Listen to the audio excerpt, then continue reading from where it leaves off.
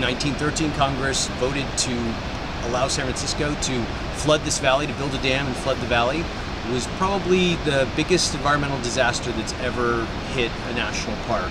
There's now the opportunity to go ahead and replace the storage elsewhere. San Francisco's water comes from the Tuolumne River, which flows through the valley. This is not the source of the water, this is where we store our water. We're in Tiltill Valley right now in mid-July and what we're looking at is a lot of the way Hetch Hetchy Valley would have looked before it was flooded and the way it could look again after the water's out. This would be established within two years of the reservoir being drained.